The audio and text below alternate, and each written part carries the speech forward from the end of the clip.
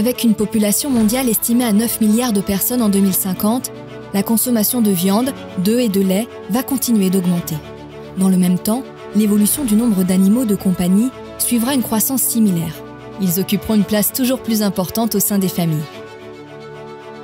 Avec le développement des échanges commerciaux et des voyages, la prévention et le contrôle de la propagation des maladies et des épidémies animales, dont certaines transmissibles à l'homme, comme la rage ou la grippe aviaire, constituent un défi économique, social et sanitaire crucial.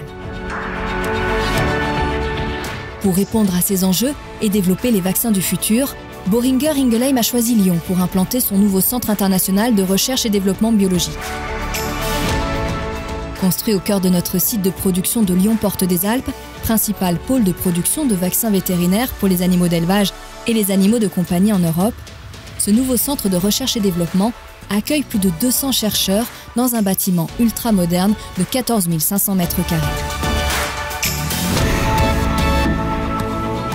70 millions d'euros ont été investis dans des infrastructures de pointe répondant aux nouvelles normes environnementales et conçues pour évoluer en fonction de la demande et des technologies. Des équipements spécialisés permettent de manipuler des agents infectieux de multiples espèces dans des conditions de sécurité et de confinement optimales. Des espaces de travail, répartis sur quatre niveaux, sont pensés pour rationaliser les processus et les flux.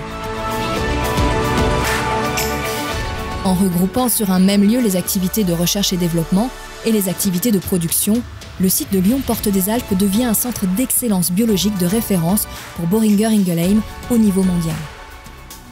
Les équipes travailleront en liaison plus étroite, avec à la clé des gains en termes de productivité, de réactivité et de performance pour mieux répondre aux besoins de nos clients.